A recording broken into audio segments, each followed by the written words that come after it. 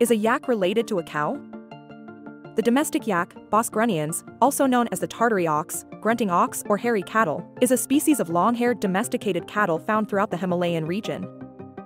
Distinguished by handlebar horns and long hair, yaks are members of the bovine family and are related to cows and buffalo. Wild yaks generally have darker, blackish to brown hair, while domestic species have wider color variations that include rusty brown and cream. With three times the lung capacity of typical cows, yaks take in stride the thin air, rugged terrain, and harsh weather of Tibet with frigid winter temperatures that can dip below zero and have subsisted for thousands of years, on a meager diet of grasses and sedges. Yaks can survive in ambient temperatures as low as minus 40 degrees Celsius. Yaks are also used for plowing and threshing, as well as for meat, milk production, hides, and fur. Yak milk also makes yogurt and cheese rich and nutritious. The dried dung of the yak is the only obtainable fuel on the treeless Tibetan plateau.